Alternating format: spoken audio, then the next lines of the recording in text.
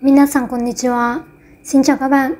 Hôm nay chúng mình cùng học ngữ pháp bài 4. Giáo trình Minna no Nihongo nhé. Từ bài 1 đến bài 3 thì chúng ta chỉ học câu với danh từ, còn bắt đầu từ bài 4 chúng ta sẽ lên một level cao hơn. Chúng ta được học câu với động từ. Tuy nhiên bài 4 hơi dài, học sẽ mệt hơn một chút nên các bạn cố gắng nhé. Phần đầu tiên của bài 4 vẫn là câu với danh từ. Chúng ta sẽ ôn lại một chút về cách nói giờ. Cách nói giờ là chúng ta sẽ nói số giờ cộng với gì, số phút cùng với phân hoặc pun và nhớ kết thúc câu bằng đề sự nhé. Re, ví dụ Bây giờ là 4 giờ 10 phút. Ima, joji 10分です。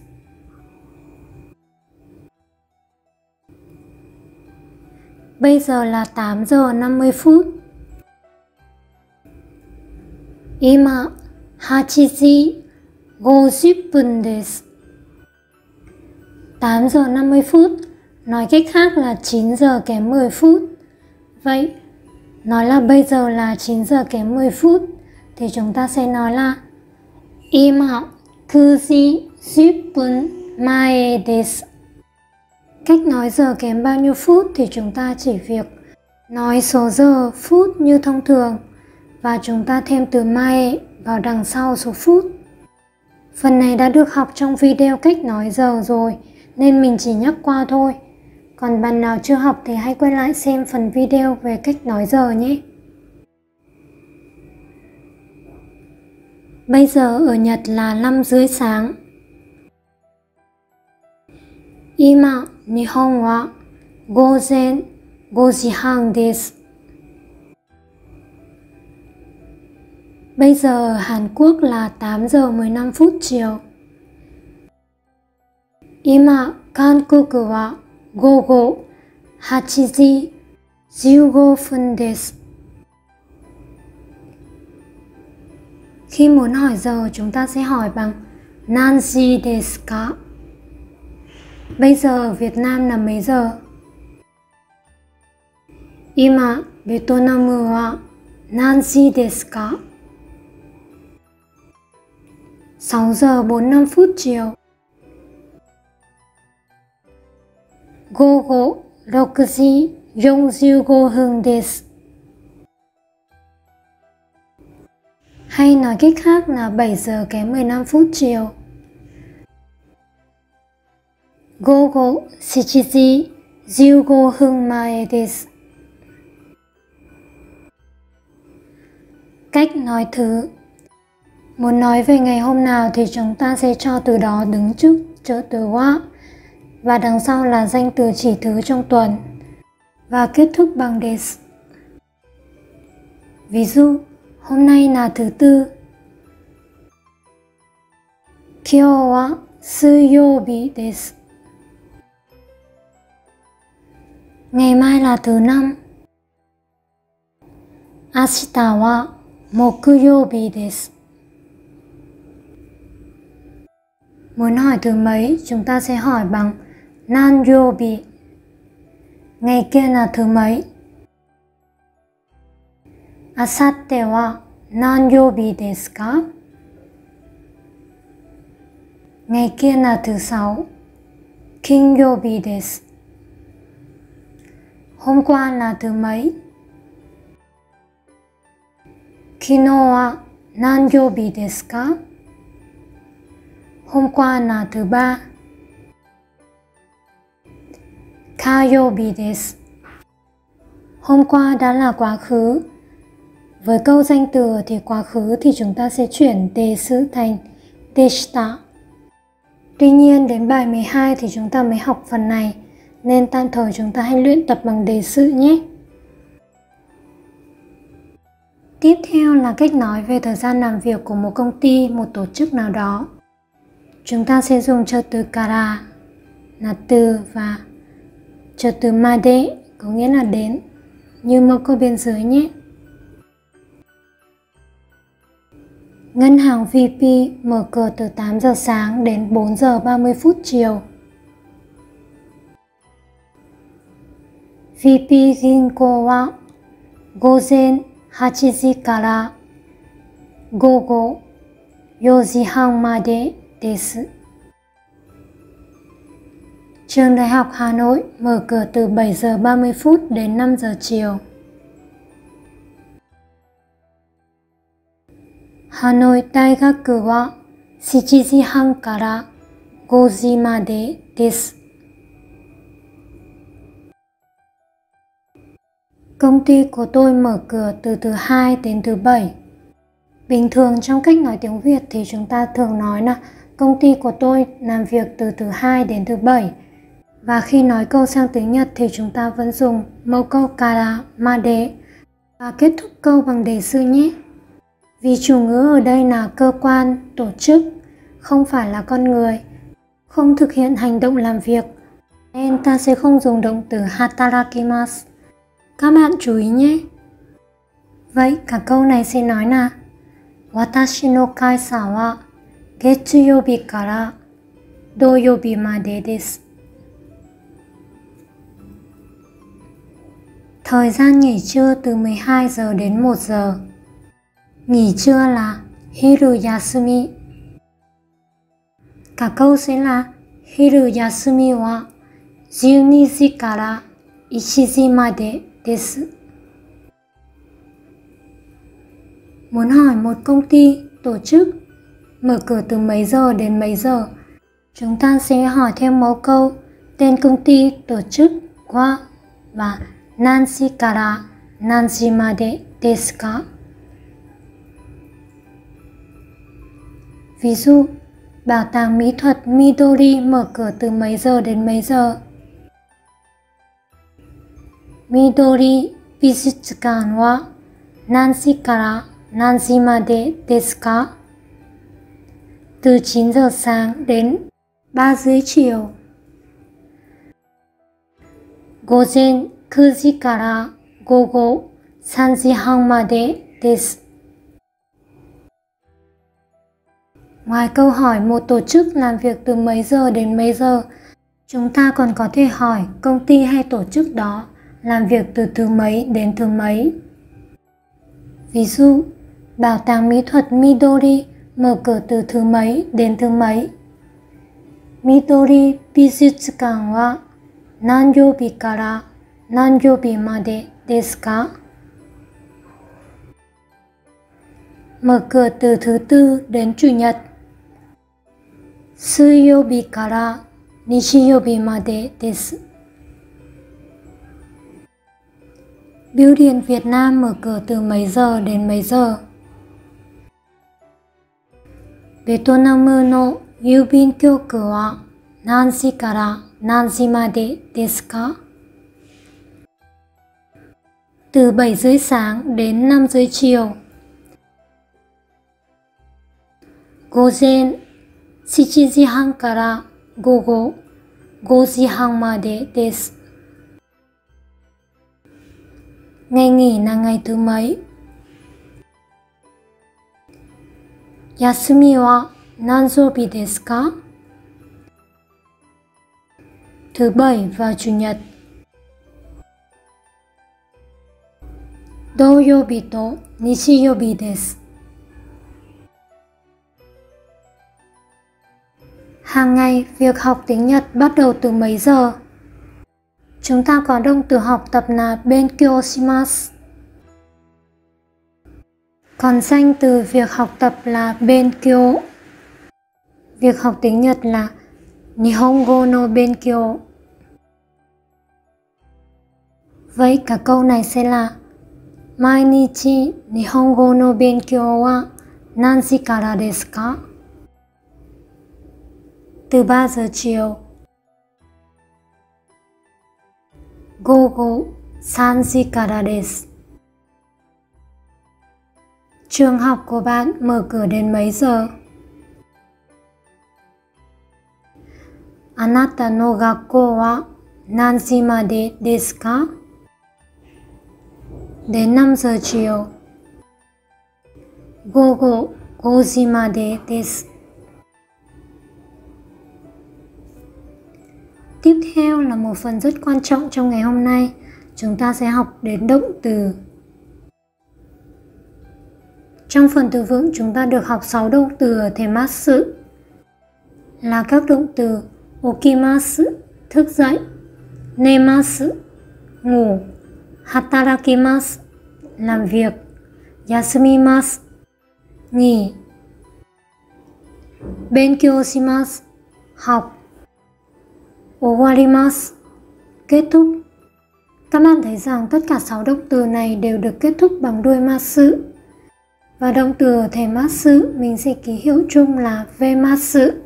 Trong bài này chúng ta sẽ học về động từ thể masu. Động từ thể masu thể hiện sự lịch sự của người nói với người nghe và nó được dùng để nói về sự việc đang diễn ra ở hiện tại hoặc sẽ diễn ra ở tương lai. Nói về những thói quen trong hiện tại, những việc thường xuyên xảy ra. Ví dụ, hàng ngày tôi làm việc. Mainichi watashi wa hatarakimasu. Chủ ngữ ở đây là watashi, thực hiện hành động hatarakimasu là làm việc. Vậy câu khẳng định của động từ masu được hình thành như sau. N wa vemasu. Ở đây N là chủ ngữ và V là hành động mà chủ ngữ thực hiện. Ví dụ, hàng tối bé Lan học bài. Mai bang, Lan chàng wa benkyou shimasu.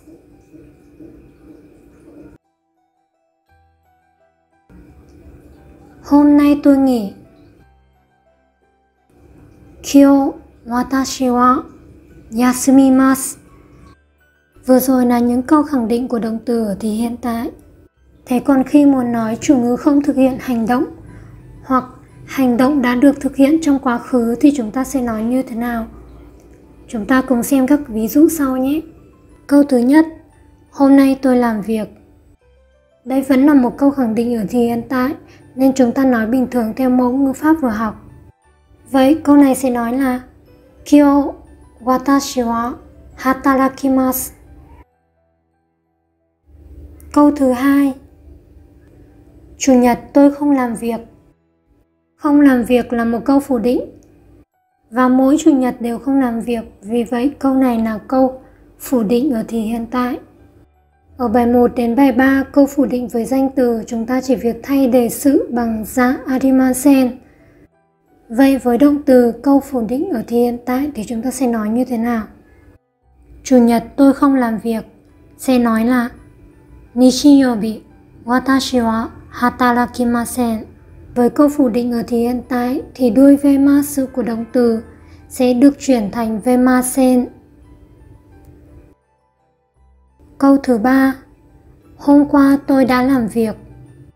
Hôm qua đã là quá khứ, vậy đây là câu khẳng định ở thì quá khứ.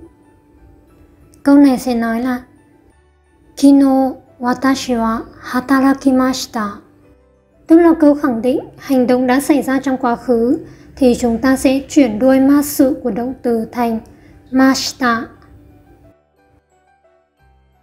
Câu tiếp theo, Hôm kia tôi đã không làm việc. Đây là câu phủ định ở thì quá khứ. Câu này sẽ nói là Oto tôi. Chúng ta cùng nhìn lại một lần nữa nhé.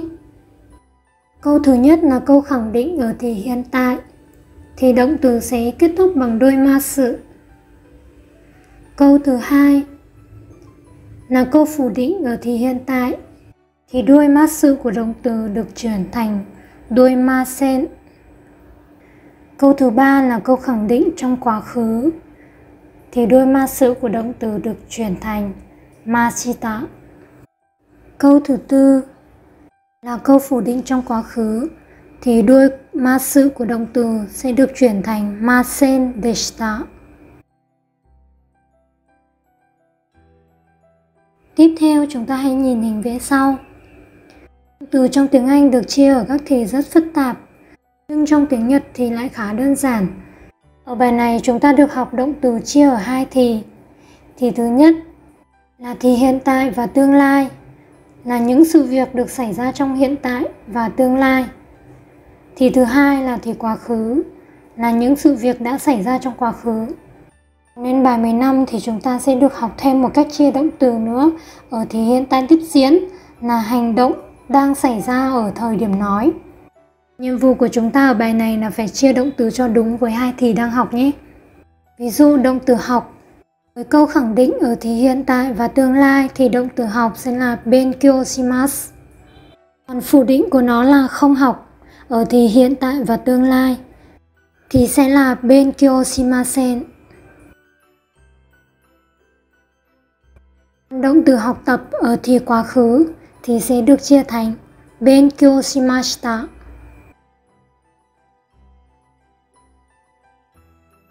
Và câu phủ định không học ở thì quá khứ thì sẽ thành benkyo shimasen deshita.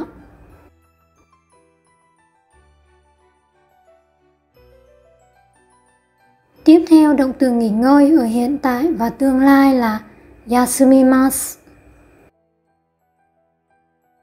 Đã nghỉ ngơi trong quá khứ, chúng ta sẽ chia thành yasumimashita. Không nghỉ ngơi. Ở thì hiện tại và tương lai sẽ là yasumimasen. Đã không nghỉ ngơi. Ở thì quá khứ sẽ là yasumimasen deshita.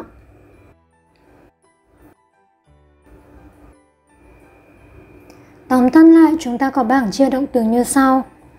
Với câu khẳng định ở thì hiện tại và tương lai thì động từ sẽ được để ở đuôi về ma sự Còn với câu phủ định, ở thì hiện tại và tương lai, thì động từ sẽ được chia thành đuôi về ma sen Còn với câu khẳng định ở thì quá khứ, thì động từ sẽ được chia thành vemashita. Và với câu phủ định ở thì quá khứ, thì động từ sẽ được chia thành vemasen deshita. Chúng ta hãy cùng chia các động từ sau nhé. Động từ thức dậy, okimasu. Ở câu phủ định trong hiện tại và tương lai sẽ chuyển thành okimasen. Ở câu khẳng định trong quá khứ sẽ chuyển thành okimashita. Và với câu phủ định trong quá khứ sẽ được chuyển thành okimasen deshita. Động từ ngủ là nemasu, nemasen, nemashita, nemasen deshita. Tương tự như vậy, các bạn hãy chia tiếp các động từ bên dưới nhé.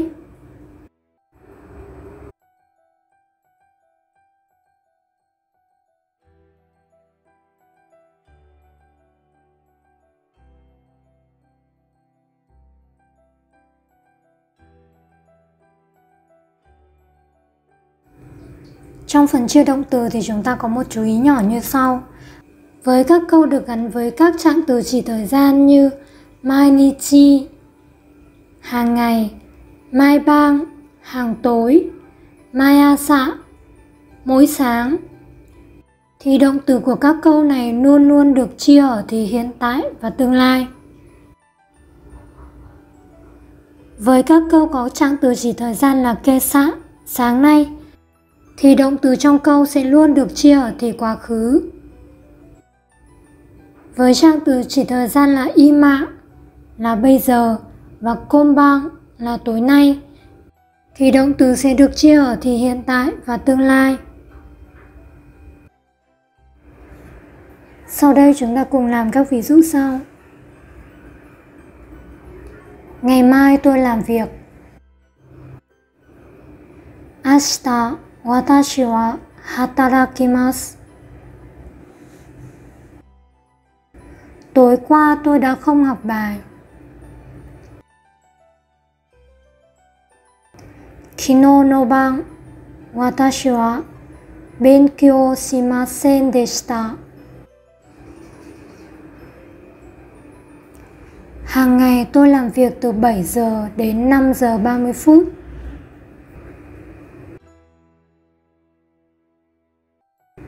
毎日私は 7時から5時半まで働きます。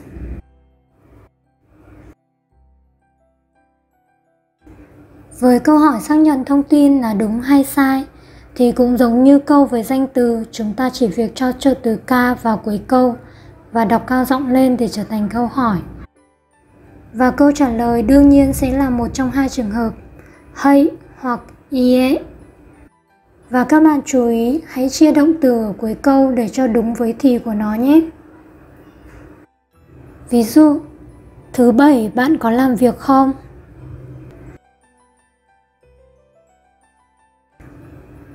Do Doyobi, anata wa hatarakimasu ka? Trong giao tiếp thông thường khi hỏi trực tiếp với đối phương thì chúng ta có thể lược bỏ chủ ngữ anata Vậy câu này chúng ta sẽ nói là Doyobi hatarakimasu ka? Không, tôi không làm việc. Ie hatarakimasen.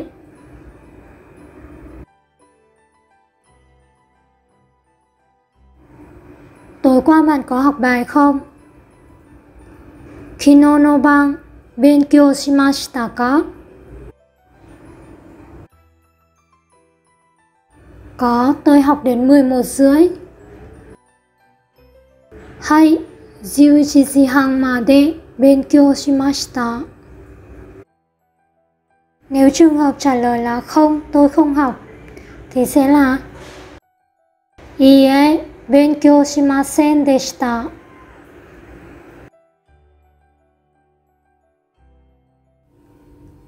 Còn với câu hỏi có từ để hỏi, ví dụ, hàng ngày bạn học từ mấy giờ đến mấy giờ?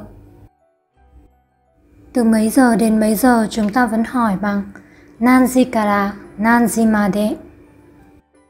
Vậy cả câu này sẽ là Mainichi nanji kara nanji made benkyou shimasu ka?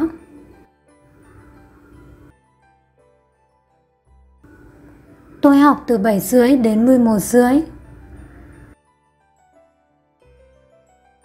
7時半から11時半まで勉強します。Hôm qua chị làm việc đến mấy giờ? 昨日何時まで働きましたか Tôi làm việc đến 8 giờ tối. 午後8時まで働きました。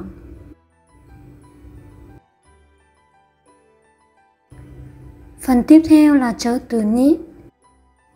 Trong bảng chữ cái, từ này chúng ta đọc là ni. Tuy nhiên khi làm trợ từ thì nó sẽ được đọc là ni. Trợ từ ni dùng để nói về hành động xảy ra vào lúc hoặc thời điểm nào đó. Mẫu câu chung ở đây là NA thời gian xác định cộng với trợ từ ni và cuối cùng là vemasu. Các bạn chú ý động từ ở đây mình để dạng vemasu trong ngoặc là mẫu câu chung, còn khi chúng ta nói thì chúng ta sẽ phải chia động từ theo đúng thì của câu nhé. Ví dụ, hàng sáng tôi thức dậy vào lúc 7 giờ. Hàng sáng tôi thức dậy là Mayasa watashi wa okimasu. Vậy thức dậy vào lúc 7 giờ thì chúng ta chỉ việc cho trợ từ ni vào đằng sau thời gian 7 giờ. Và cả câu này sẽ nói là, Mayasa watashi wa shichiji ni okimasu. Hàng ngày công việc của tôi kết thúc vào lúc 5 giờ Từ công việc là shigoto. Cả câu sẽ là Mainichi watashi no shigoto wa 5時に終わります。Tối qua tôi đi ngủ vào lúc 11 giờ. 昨日の晩、私は11時に寝ました。 Tối qua đã là quá khứ, nên động từ ngủ ở đây chúng ta sẽ phải chia thành nemashita. Khi muốn hỏi hành động diễn ra vào lúc mấy giờ thì chúng ta sẽ hỏi bằng nan ni. Ví dụ, sáng nay bạn dậy lúc mấy giờ? Kesa nan ni? okimashita ka? Tớ dậy lúc 6 giờ 30 phút. 6時半に起きました。Hàng tối bạn ngủ lúc mấy giờ? Mai bang nanji ni nemasu ka? Tớ ngủ lúc 10 giờ. しうしに寝ます。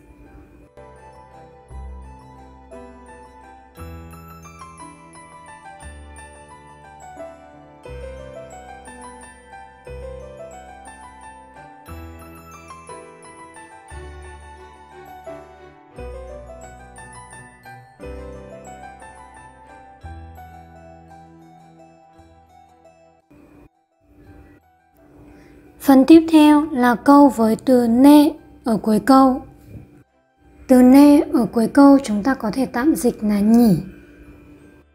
Và nó có hai ý nghĩa. Ý nghĩa thứ nhất là biểu thị sự thông cảm, đồng tình của người nói. Ví dụ như trong đoạn hội thoại dưới đây. Bạn A nói, hàng ngày tôi làm việc đến 9 giờ tối. Mainichi 9時まで hatarakimasu. Khi nghe vậy, bạn B muốn bày tỏ sự thông cảm của mình. Anh vất vả quá. Tai hen desu ne. Từ ne ở cuối câu chúng ta sẽ đọc thấp giọng xuống nhé. Và nghĩa thứ hai của chữ từ ne là xác nhận lại thông tin mình nghe được có đúng hay không. Ví dụ như trong đoạn hồi thoại sau, bạn A nói, số điện thoại của tôi là 033 208 2535. Watashi no denwa bango wa 033 no 208 no 2535 desu.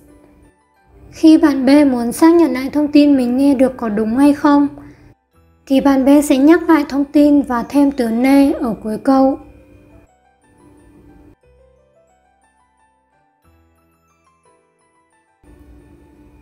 zero sang sang no ni zero hachi no ni go sang go desu ne. Các bạn chú ý cách đọc số điện thoại của người Nhật là sẽ đọc đầu số trước, sau đó đọc ngắt ba số 1 và ba số cách nhau này có thể được đọc nối liền bằng chữ từ nô Vậy là chúng ta đã học xong ngữ pháp của bài 4 rồi. Các bạn hãy làm thêm thật nhiều bài tập trong sách giáo khoa để chúng ta có thể sử dụng thành thạo hơn nhé. Cảm ơn các bạn đã theo dõi video. Hẹn gặp lại các bạn trong video tiếp theo.